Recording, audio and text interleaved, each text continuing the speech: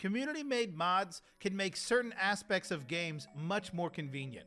In today's video, we're going to go over how to install mods on a Lord of the Rings Return to Moria server. Before we get started, make sure to back up your server before installing any mods so you ensure you don't lose any server files. We will first go over how to install them on the server, then we'll go over how to install them locally. First, we're going to go to the Nexus Mods website for Lord of the Rings Return to Moria, and we're going to download any desired mods we want to add to the server.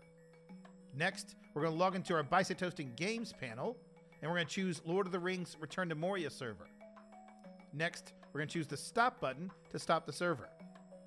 We'll then go to the Files tab, and we're going to go into the Moria folder, then the Content folder, and then lastly, the Packs folder. From here, we're going to choose the Create drop-down menu and select Create Folder. We're going to name this folder tilde mods, and then we're going to press the Create button.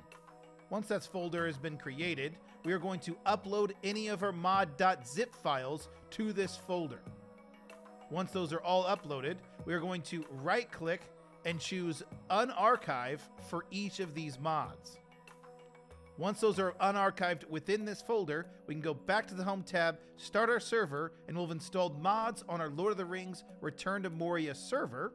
And if you'd like to install those mods locally, we're going to first go to our Steam library, and we're going to right click Lord of the Rings Return to Moria, hover Manage, and choose Browse Local Files. Within this folder, we're going to go into the Moria folder, then Content, then Packs, and we're going to create a new folder in this packs folder named tilde mods.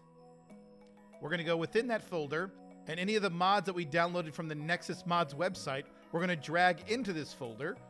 And then we're going to right click and extract all those .zip files within this folder.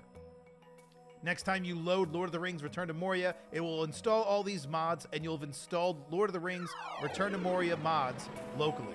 Thanks for watching and check out bisecthosting.com, your ultimate gaming partner.